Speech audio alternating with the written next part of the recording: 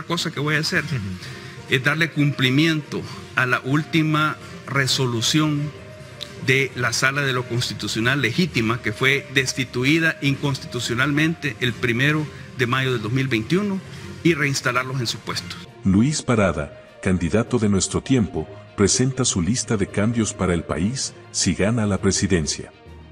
Parada, candidato a la presidencia de la República por el partido Nuestro Tiempo, ha revelado su lista de propuestas y cambios que planea implementar en el país en caso de ganar las elecciones. Durante una entrevista televisiva esta mañana, detalló sus planes, destacando acciones significativas que buscarían modificar el panorama político y jurídico de El Salvador.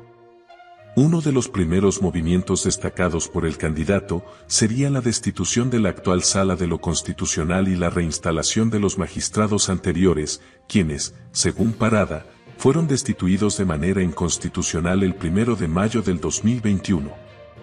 Esta medida, de acuerdo con el aspirante presidencial, busca dar cumplimiento a la última resolución de la Sala de lo Constitucional Legítima.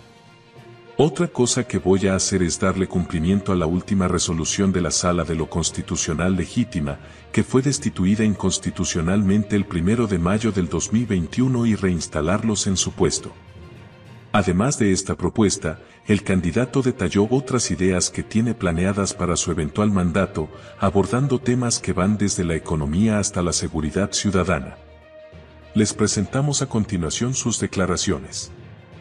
La cosa que voy a hacer es darle cumplimiento a la última resolución de la Sala de lo Constitucional Legítima que fue destituida inconstitucionalmente el primero de mayo del 2021 y reinstalarlos en sus puestos, para que ellos, ya siendo magistrados nuevamente, ejerciendo como magistrados de la sala del constitucional, tomen las medidas que le corresponde al órgano judicial para regresar El Salvador a la institucionalidad.